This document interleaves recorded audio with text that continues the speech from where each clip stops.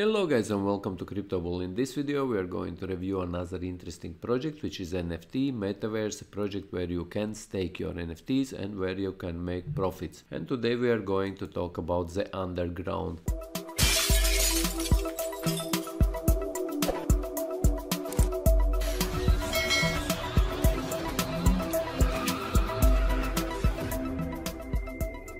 This is very interesting project which consists of multiple different NFTs, but main two NFTs will be two characters.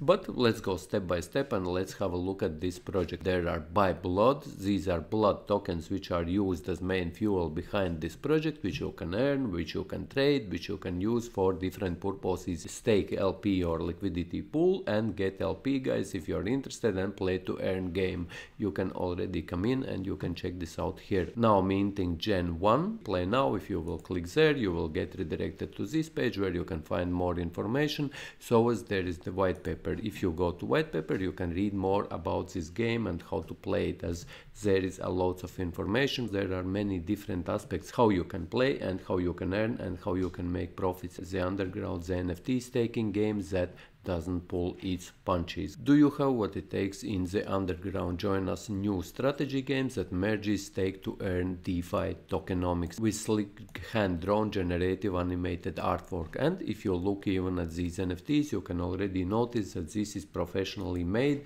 and these are not some auto-generated. As you see guys, these NFTs look very, very professional. Welcome to the underground. The underground is a staking game with stunning algorithmically generated art of unique fighter and Yakuza NFTs. As I mentioned, there are two types of them. There are fighter NFTs and there are Yakuza NFTs. And Yakuza NFTs are much more rarer, guys. Earn blood. Blood is their native token, which is built on Ethereum ERC20 tokens. Send your fighter and Yakuza to fight. Staking. When you send them to fight, guys, this means that you are pretty much staking these NFTs. They will earn you blood. Blood is that they will earn you these blood tokens and get gold. Gold is the ultimate prize for everyone. So there are also gold NFTs which are only 1000 but gold doesn't come cheap. 1 million blood per gold guys. Actually there is 1 million blood tokens per, for one gold NFT and there are only 1000 of these gold NFTs.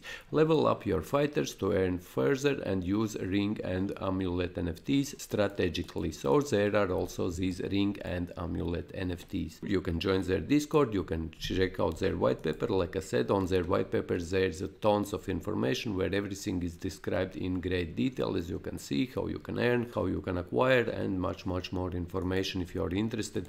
Just click in their white paper guys as you can see here guys. And here are the in-game items which we were talking about.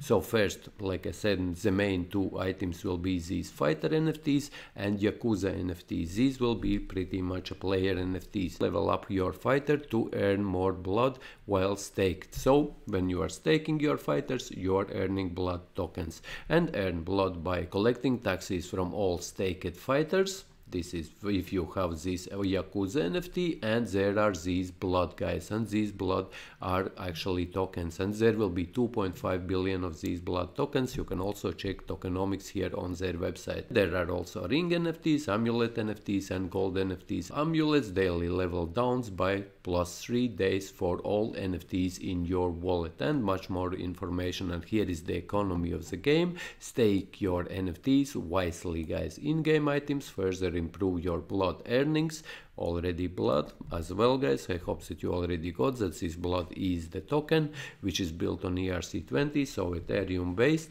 higher level fighters earn you more blood. Higher ranked yakuza collect more blood tax and higher levels are increasingly harder to reach. So the more you play pretty much the more you get your nft whether it's a fighter or yakuza at a higher level and when they become higher level they earn you more profits. They earn you more blood as the amount of blood you need to burn to purchase the next level increases like XP and Diablo guys. So those are next level as you can see here guys.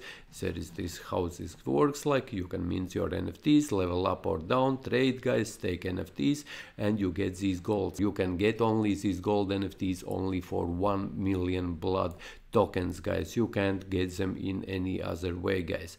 And there will be only 1000 of these gold nfts and there will be like I already mentioned 12,000 altogether like this fighter and Yakuza NFTs. Here is like blood supply guys, this is the tokenomics pretty much, how they will be distributed in this game and here you can see pretty much the roadmap, everyone knows that only the strongest get gold guys. And here you can hover these four points as you can see round 1, Fight Club opens a day of mint, stake, fighters and Yakuza to earn blood guys. And second round, by Gen 1 fighters and Yakuza with blood. And round 3, level up your to earn more blood and round 4 get your gold for 1 million blood. So 1 million blood tokens are required to get gold NFT guys and here is the gameplay, here is everything described in greater detail guys. I will not be reading this as always, come in and check this out for yourself but I hope that you get the idea. And to me for example personally I find this project very professionally built, they have actually already built something like you can see here guys, you can already come in and you can can browse around this website. There's a lots of information and you can already check it out. And talking about team we are talented experienced dev team with a history in on-chain staking. So this team is already experienced and they already know about staking and they are already in crypto space for a longer time. And if you are interested in more frequently asked questions however like i mentioned guys you can find pretty much all information on their white paper how it works how you can make profits and how you can stay. But what is total supply? 12,000 Gen 0 NFTs, which are these fighters and which are Yakuza NFTs, and 48,000 Gen 1 NFTs, only mintable with blood, guys. You can get them only with blood tokens. And there are 10% of Gen 0 and Gen 1 NFTs will be Yakuza, guys. These Yakuza, which, were, which we were talking about.